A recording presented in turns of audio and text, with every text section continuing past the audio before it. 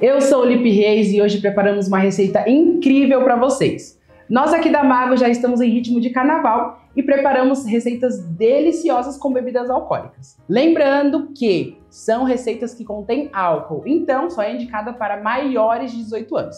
E se beber, não dirija.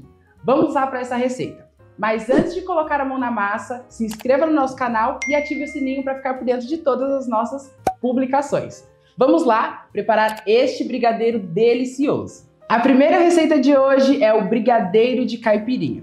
Aqui nós vamos fazer um brigadeiro base, que é leite condensado, creme de leite e a emulsão saborizante de limão da Mago. Ela que vai dar esse toque, esse frescor e esse sabor delicioso de caipirinha no nosso brigadeiro. Então vamos lá. Na panela eu vou colocar o leite condensado,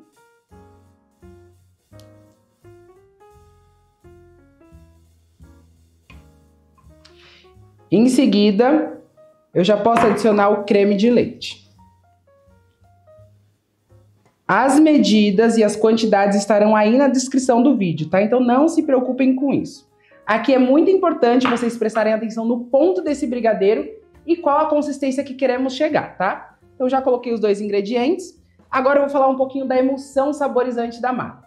Este daqui é um produto muito bom, muito forte, muito concentrado, tá? O que, que é essa emulsão?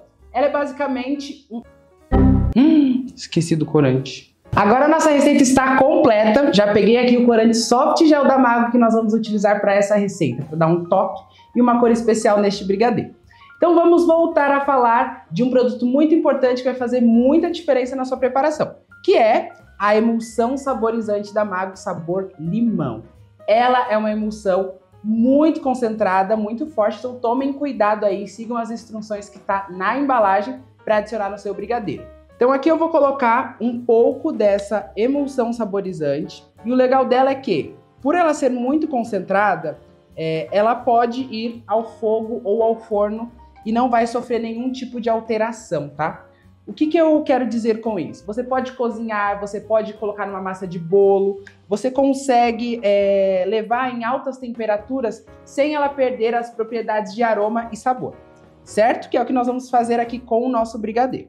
Então, coloquei aqui, vou mexer, misturar bem todos esses ingredientes antes de ligar o fogo.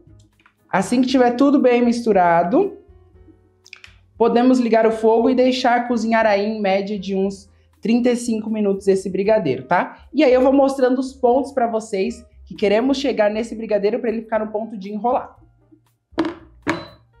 Aqui eu estou utilizando um fogão elétrico, mas aí na casa de vocês estiverem usando um fogão a gás, é, vocês vão controlando aí é, a temperatura média do seu fogo para não correr o risco de queimar e esse brigadeiro cozinhar na velocidade e no tempo correto.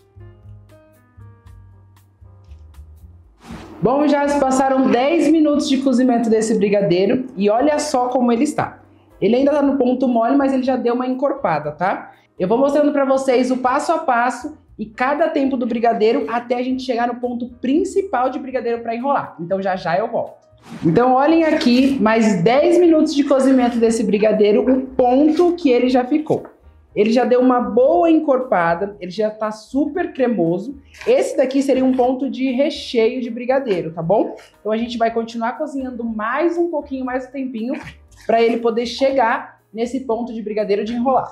Voltamos aqui com o brigadeiro no ponto perfeito, super cremoso, e eu vou mostrar para vocês. Então, olha só, este é o terceiro ponto que a gente consegue chegar, que vai dar o ponto de brigadeiro de enrolar, tá bom? Então eu levanto a espátula e ele cai em blocos, tá vendo? Ó, está super cremoso, mas vocês percebem que ele vai cair em blocos, né? Outro ponto também que é importante prestar atenção na hora do cozimento é eu raspo a colher ou a espátula e olha só, ele não se junta, tá vendo? Isso mostra o quanto o brigadeiro está cremoso e consistente.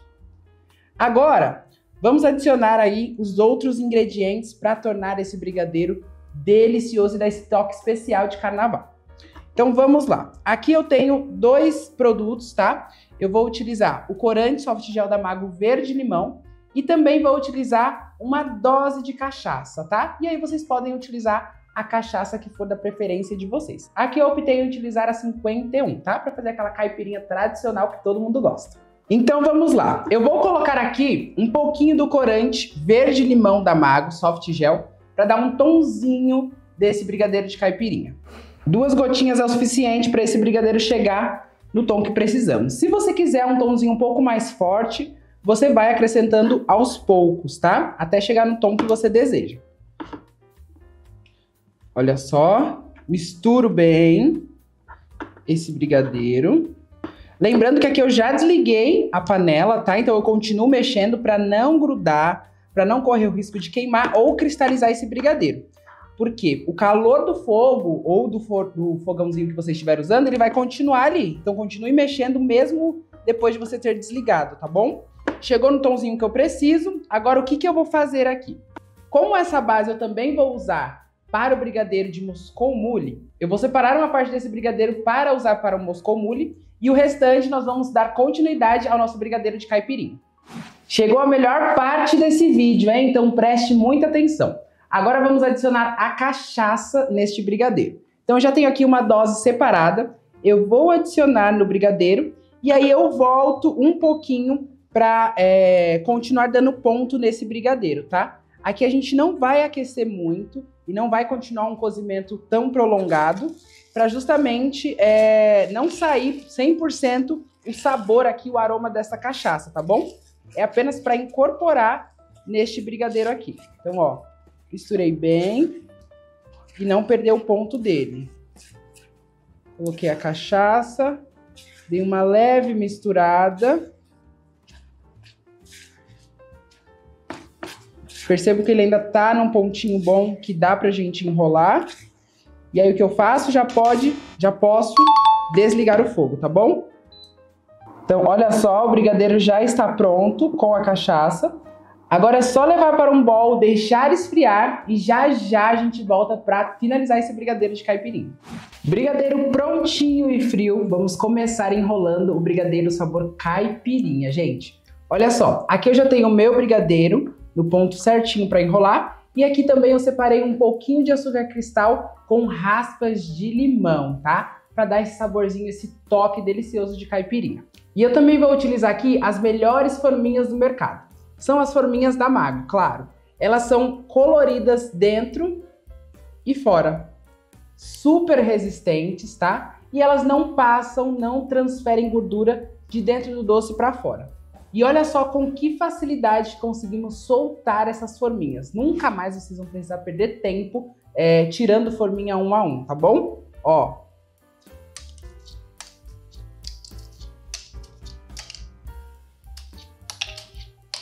Apenas com uma mão eu consigo desfazer todas as forminhas sem amassar, sem que elas fiquem deformadas e num tempo muito mais rápido, tá bom? Então já sabem aí, peguem essa dica e utilizem sempre essas forminhas. Então agora vamos para o próximo passo que é pesar os brigadeiros. Isso é muito importante. Nós temos uma variedade de tamanhos de forminhas. Essa daqui é o tamanho 5, tá? E eu estou usando a cor verde limão, tá? E o que, que vai acontecer aqui? Eu vou precisar de um brigadeiro de 20 gramas, tá? Que é o que cabe e suporta essa forminha de número 5. Então, eu vou pesar este brigadeiro com 17, entre 17 e 18 gramas, e o restante, que vai completar aí a gramatura desse brigadeiro, é os confeitos, ou granulado, ou o tipo de cobertura que você vai passar nele, tá certo? Então, antes de mais nada, vou utilizar o solta-face desmoldante para conseguir bolear esses brigadeiros com muito mais facilidade, sem precisar passar manteiga, como muitas pessoas utilizam ou já utilizaram durante muito tempo. Agite sempre antes de usar e numa distância de mais ou menos 20 centímetros eu vou vir aqui, ó, e colocar um pouquinho desse desmoldante. Espalho na mão, aproveito também para passar só um pouquinho aqui, ó, na colher que eu vou pegar este doce e prontinho. Então venho aqui, pego esse brigadeiro super cremoso. Vou utilizar a balança para eu ter certinho o peso desse brigadeiro.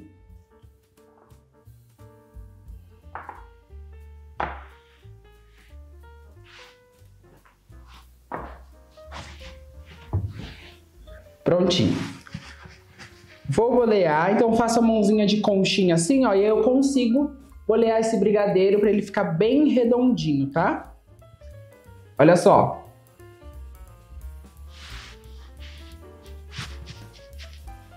Perfeito. Agora é só colocar aqui no açúcar. A gente vai passar com o auxílio de uma colher. Então, ó, já vem aqui, brigadeirinho pronto. Eu já consigo colocar na forminha. Eu vou pegar com a mão mesmo, porque dessa forma fica muito mais fácil e a gente consegue permanecer ele redondinho. Olha que brigadeiro super delicado, encaixou certinho nessa forminha e como ficou lindo, né? Então agora vamos continuar a fazer bastante brigadeiro de caipirinha e já já eu mostro para vocês como que vai ficar essa belezinha aqui. Todos os brigadeiros prontos, as bebidas já aqui preparadas e separadas para a gente complementar o nosso brigadeiro. Então aqui eu vou utilizar essas cápsulas que vamos preencher com a bebida alcoólica e espetar nos brigadeiros. Então vem comigo para a gente finalizar esses brigadeiros deliciosos alcoólicos.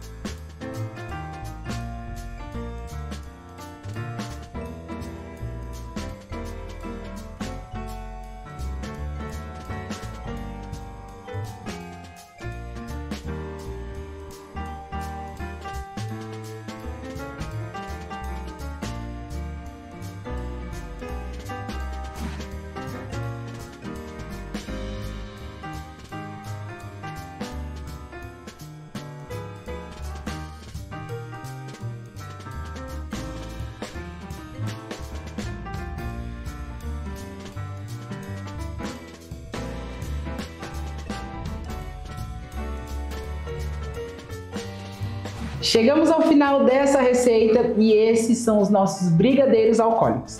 Eu espero que vocês tenham gostado e aproveitem todas as dicas dadas aqui.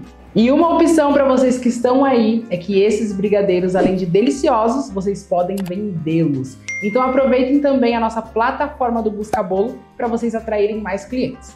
Espero que tenham gostado e até a próxima. Tchau, tchau!